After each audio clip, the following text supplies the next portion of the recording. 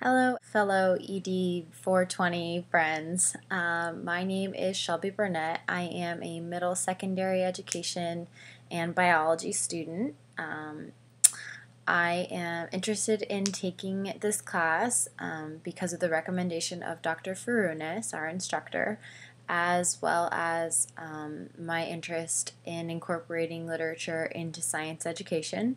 Um, usually, this is kind of uh, something that teachers either don't do well or don't do at all.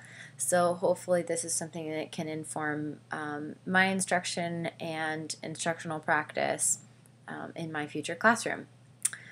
Um, I'm really excited about some of the projects that we have on our syllabus. After taking a look at that, I think some of those things look really exciting. So I'm excited and looking forward to meeting everyone. Um, see everyone on Monday.